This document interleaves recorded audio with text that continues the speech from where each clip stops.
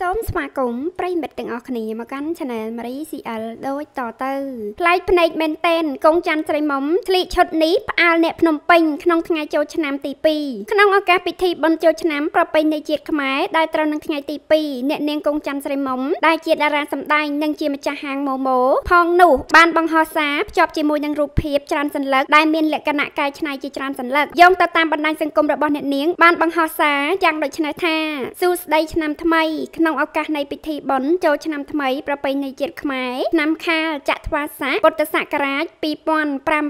2566យើងខ្ញុំសូមគោរពជូនពរជ័យឆ្នាំថ្មីសិរីសួស្តីជ័យមង្គលវិបុលសុខមហាប្រសើរជូនចំពោះអ្នកម្ដាយក្រុមគ្រួសារបងប្អូនញាតិមិត្តជិតឆ្ងាយទាំងអស់សូមឲ្យទេវតាថែរក្សាឆ្នាំថ្មី ព្រះនាមករណីទេវីតាមយាងជួយបីបាច់ថែរក្សាប្រោះព្រំ នៅសពសាធុការពោជ័យគ្រប់ប្រការកំបីគ្លៀងឃ្លាតឡើយ